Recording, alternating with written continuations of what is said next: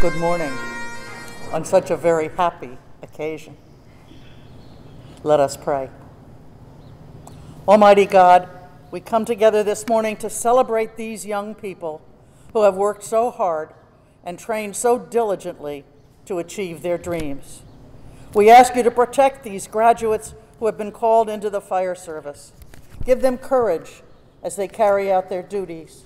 Give them wisdom and understanding and help them to grow in leadership ability.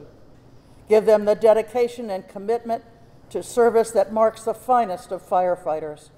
And above all, give them compassion for those whom they serve.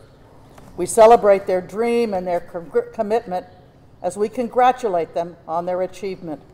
They enter a career respected for faithful service to the community.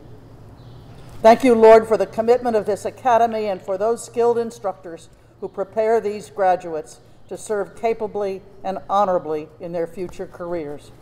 Thank you for all of the mentors and supporters and family members who have made this day possible.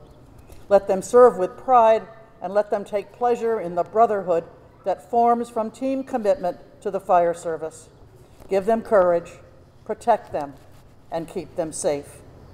We ask that you give them the wisdom to seek help in times of stress and hardship.